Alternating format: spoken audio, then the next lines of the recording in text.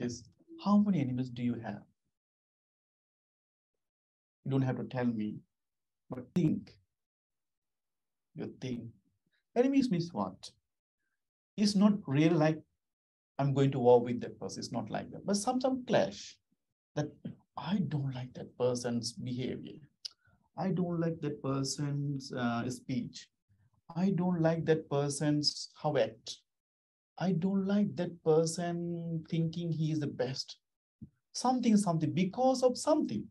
So in short, we can say because of a person verbal action, because of a person's physical action, because of a person mental action, you or we, we don't like something in our society.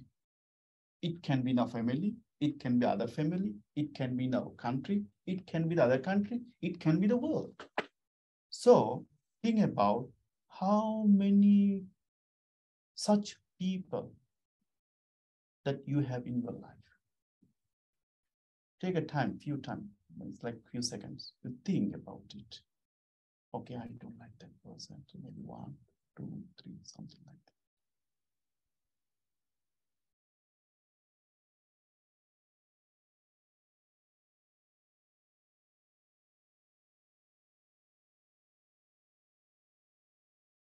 Got some? Okay, just keep in mind. Don't have to tell anyone. I to let you know that don't down yourself. Don't push like, oh, I'm so bad. I have such a big numbers. Don't think like that. It's okay. Okay. Now, this is a question for today, and we answer through the through the through one stories. That is, um, there was a teacher. There was a teacher she brought all the students outside that is to the one garden vegetable garden and gave everyone that uh, one shopping bag plastic bag right? Plastic shopping bag. So said okay have it. And said to all the students students pick up the amount of tomato into your bag thinking how many people in your life that you don't like don't like. You get it? it means for example okay i don't like that person one. I also don't like that person like two. So how many like them? So after sometimes all the students they are pick up you know some students pick up two three four five six. Some students wow very heavy.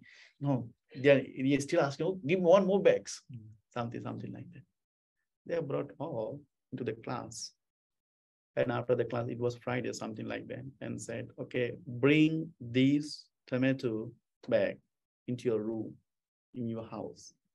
Don't keep this into the fridge. Keep this very close to you.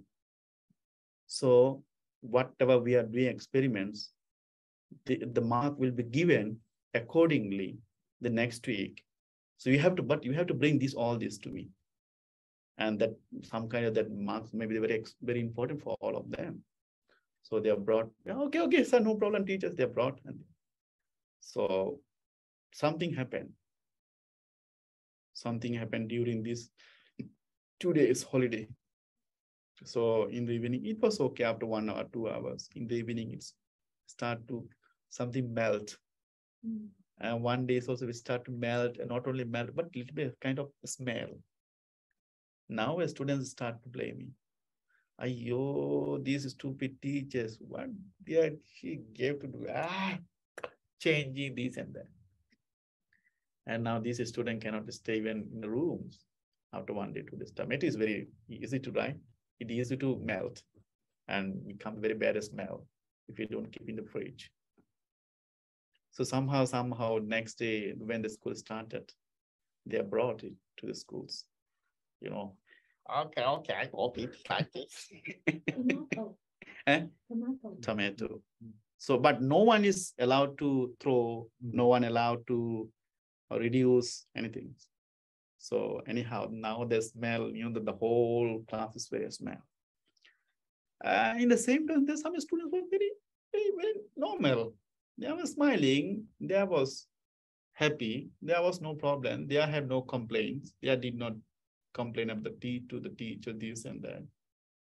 So then start to telling about the message behind these stories. Why? Why the teacher did so and what the marks, what she wanted to point out. So you see, how do you think? I mean, can you think or can you imagine like who were more suffering, you think, among these students? Who were more suffering? The more tomatoes they have. Yes, the student who picked up more tomatoes into their bags, kept in their rooms, right? Is more. The person who have one or two is they could manage something this and that. Okay, but it's still smelly, remember. The same. Tomato is something physically we can see in our life. That's why we can feel it.